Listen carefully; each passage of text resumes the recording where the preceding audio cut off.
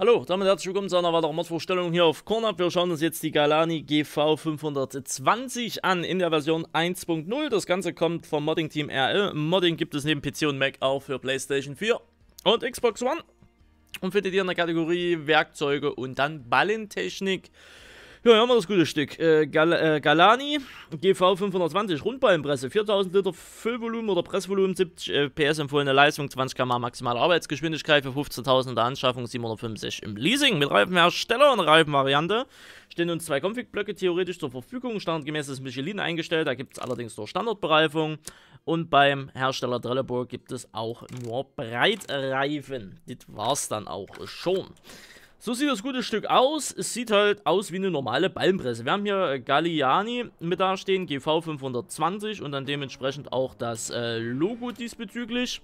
Hier haben wir noch ein paar Warnhinweise mit dabei, genauso wie hier unten am Pickup. Ansonsten jetzt hier standardgemäß die Michelin-Reifen, die sehen soweit gut aus. Vorne Anschlüsse, Zapfwelle, Kabel etc. pp. Hier oben, ganz interessant, eine Anzeige, scheinbar für einen Druck oder irgendwie sowas in der Richtung. Habe ich da auch noch nie gesehen, ganz cool. Ja, an der Seite ist gleich in grün, hinten Mac-Bereich logischerweise Auswurf, ja nochmal Diegel, Bremslichter, Blinker, was man eben so kennt. Ja, sieht aber toppy aus, muss man sagen, kann man beziehungsweise nichts dagegen sagen. So, habt ihr noch was vorbereitet, ganz klar.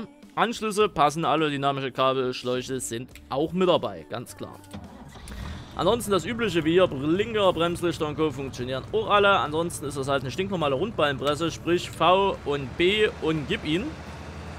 Und jetzt ist es ein bisschen schwierig aus der Position hier heraus zu sehen, ob sich hier bei diesem äh, Hebel oder Schalter was tut. Ich fahre einfach mal ein bisschen. Und ihr achtet einfach mal drauf. Beziehungsweise wir halten mal an. Wenn wir jetzt hier sehen, aha, aha, bewegt sich. Gehen wir mal nach, machen wir mal weiter. Dass wir hier auf 100% kommen. Gucken wieder drauf. Ist auf Rot.